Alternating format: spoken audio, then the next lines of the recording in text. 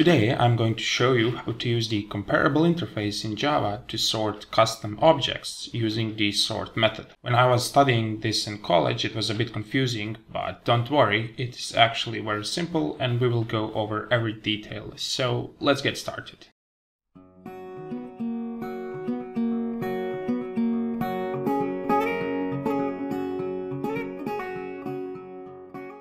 So Comparable interface is a Java interface used to compare objects on a single element like year, name, price, and so on. In this case, we will be sorting cars based on their ID. So every car has a name and an ID and we'll be using ID to sort the cars. And so, like any interface, we must implement it in our class. So you write our class implements compare comparable and inside these brackets you want to write the name of the class you want to compare. So in this case it's car. If you are comparing your own class, you just put the name of your own class inside of there. The next thing we want to do is we want to implement uh, the methods that come in the comparable interface. As you can see, we have an error here it says the car must implement the abstract methods from comparable.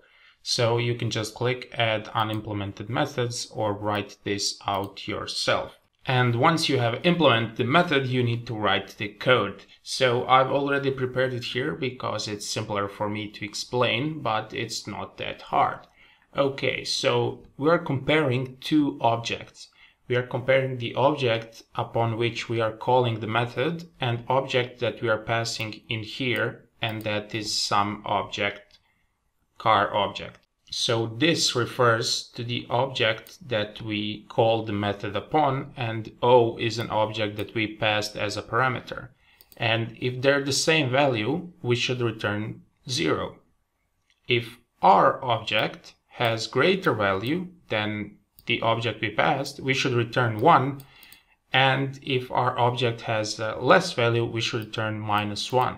And that's how this method works. If you want to sort it the other way, you will just return minus 1 when your object is bigger. That is basically it from the compare method. It's, it's not that hard. I know it looks a bit confusing, but you just choose one element on which you're going to compare. In this case, we use the ID. And if these two objects have the same ID, we should return 0. If ours is bigger, we should return 1. And if it's less, we should return minus 1.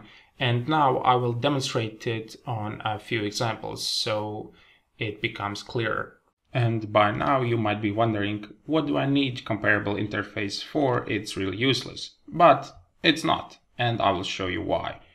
In here, I've created few cars and stored them inside my array list. If you don't know what an array list is, you can check the, check the link in the description because I made a fantastic video about it. Then I added all these cars in my array and then I print their IDs. As you can see, they go in the order in which they are added. So same like here. But what happens if you need to sort the cars? What happens if your customer wants to see cars sorted by ID? You can do something like this. So you can use the sort method from collections. Every every class that implements comparable can use this method to sort its elements. And since our class implements comparable, we can use it. So collection it's collections dot sort and your array. So you can use it on strings, you can use it on integers because they automatically implement comparable. And now we can use it on our car class because we implement comparable. So you do collections dot sort and you pass your array which you want to sort.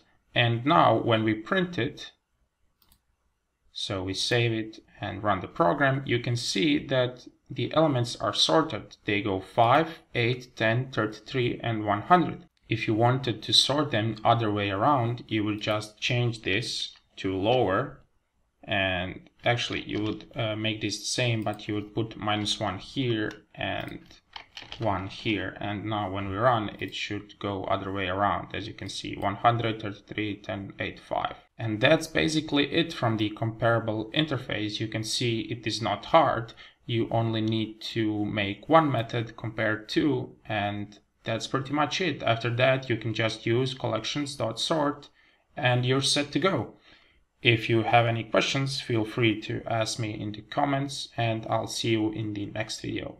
Bye.